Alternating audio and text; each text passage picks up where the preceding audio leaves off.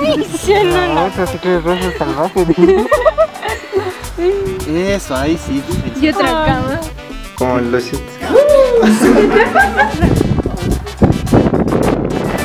¿Dónde quedó nuestro amor? ¿Quién provocó nuestro adiós? ¿Qué es lo que has hecho de